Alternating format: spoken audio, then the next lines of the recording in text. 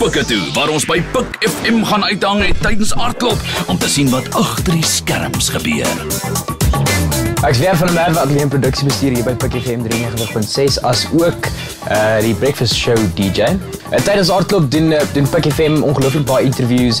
Uh, jy weet met die mense van die produksie, uh, van die produksie stage productions, live productions en dan ook obviously die uh, verskillende bands en so aan. En uh, ons is hier basically om te chill. Ons uh, maak almal gemaklik wat hier bykom en uh, is lekker om die Xbox hier so en jy kan net lekker kom chill so met Pick FM span. Weer is jy bewus daarvan dat ons nou how to moet doen. Ja, ek het ek het gelees op daai stuk van briefingkie dat ons 'n uh, how to het om te doen. En ek het regtig nie idee wat te doen. Want kijk, hier zit jij, jij weet reeds hoe om alles te doen. Wie zit bij graag in interview Um, ehm, hij is nou vandaag niet doorgekomen, maar ik wil graag met Jack Sparrow interview.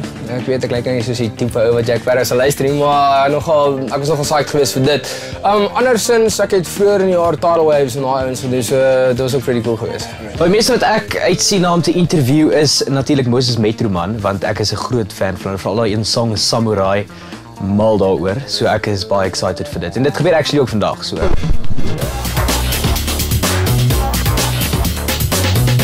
Ek check jou Guitar Hero skills hier. So dis nie te bad nie.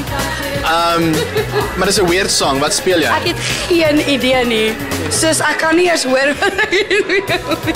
Ek druk actually net knoppies. Kan jy regtig actually gitaar speel? Is so 'n bietjie maar nie regtig nie. Ek kan beter gitaar hierry speel. So hoe lank hoe lank speel jy al Guitar Hero? Weet je wat, over tien jaar lang? Nee, niet erg meer. Er bestaan nog meer tien jaar, nee. dat ik kan ik zeggen. Ik weet niet, maar het is twee jaar terug. Ja. Hmm, dat is mijn passie, wat kan ik zeggen. En jouw score is? 100%. Op wat is song? Al gelijk.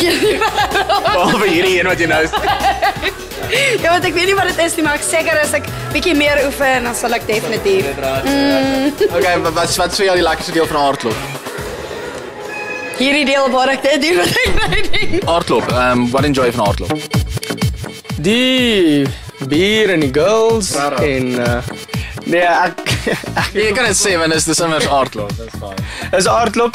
Ek uh, maar die shows is ook great. As mens altyd kom, is altyd baie nice shows hierso. Soos.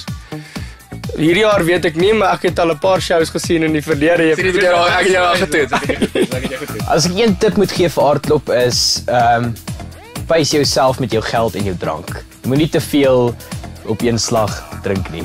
Dit gaan jou inhaal. Gaan mal.